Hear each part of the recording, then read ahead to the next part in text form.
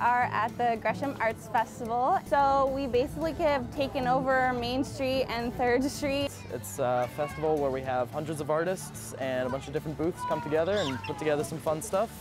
Uh, people are selling their products, people are showing off their art, so just a good, good Saturday activity.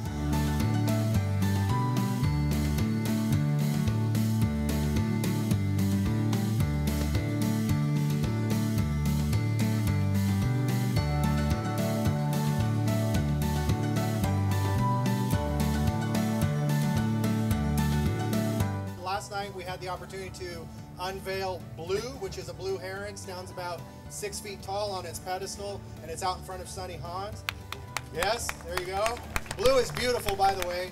She's here and uh, she's going to be permanent.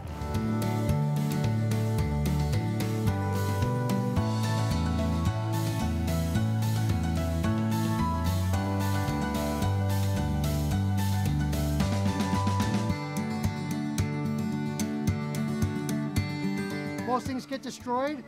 Art is something that you can make. So I love that uh, everybody has an opportunity to make something out of nothing.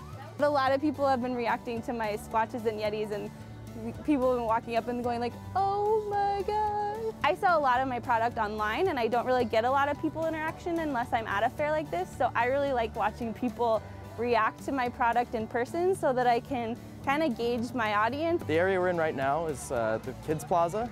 So we got a bunch of uh, we got a bunch of kids out here, just random games and different different festivities, things for them to sign up for and hang out.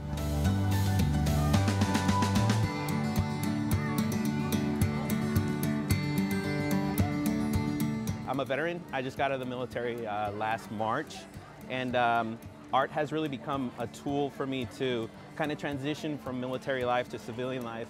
And it's done, it's done great for me. It's done great for my family. It's done great for me. It's done great in general overall because I get to share that art with people and I get to make stuff. So that's why it's important to me.